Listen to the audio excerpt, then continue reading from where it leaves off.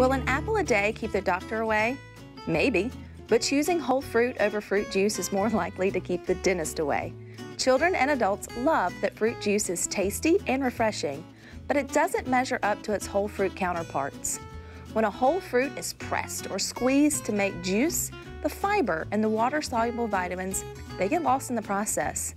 While 100% fruit juice is not completely void of nutrients, it still lacks the goodness found in fruit's skin, flesh, and pulp. If you still choose to provide fruit juice at home, keep these recommendations in mind. Children ages 1 to 3, they should be limited to 4 ounces of juice daily. Children ages 4 to 6 should drink only 6 ounces of juice daily.